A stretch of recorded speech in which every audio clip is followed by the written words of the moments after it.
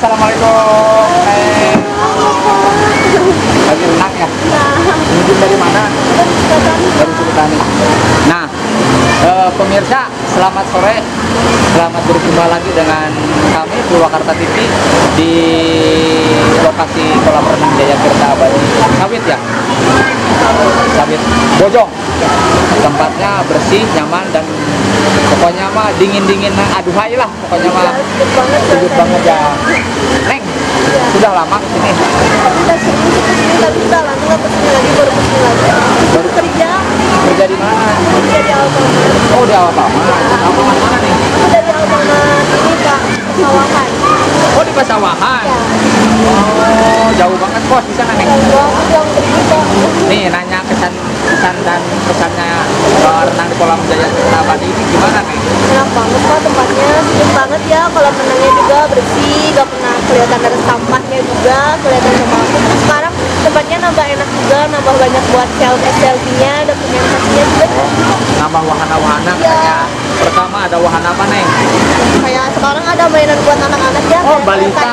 Ya. Pemirsa, ada kolam renang balita. Iya, Patut dikunjungi dengan keluarga ya neng ya. Iya. Neng udah nikah belum? Belum lah. Nah kalau udah nikah jangan lupa neng anaknya bawa ke sini di Iya, kolam renang. Jaya Tirta Abadi Iya. khusus kolam renang. Apa? Balita ya. Ya. Untuk safety nih keamanannya gimana di sini? keamanan juga kelihatannya di sini kalau ada apa-apa langsung siap tegas gitu ya. Langsung nggak langsung ambil tindakan kalau ngelihat ada apa-apa gitu di kolam renangnya nggak kayak yang di lain-lain gitu kelihatannya. Di sini kan banyak banget pengawasannya penjagaannya juga sama. Oh terjaga banget pokoknya di sini ya. safety-nya top banget. Iya. pengawasannya luar biasa. Karena yang punyanya juga kalau tidak salah selalu berkeliling ya. Iya. selalu berkeliling dan memantau terus para pengunjung karena pengunjung itu renang ya.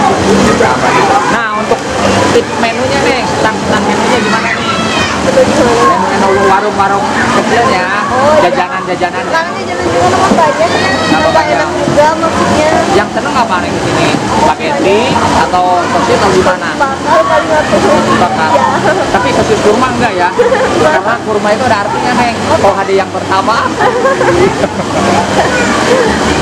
Pokoknya mah jangan bosan-bosan di sini ya. Ya. Bawa keluarga, kerabat dan di mana aja.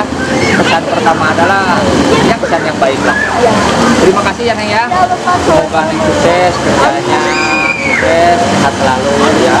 Saya dari Purwakarta TV banyak terima kasih dan jangan lupa kita ucapin minal aidin juga ya. Minal aidin wal faizin. Mohon maaf. Sekian dan terima kasih. Assalamualaikum warahmatullahi wabarakatuh.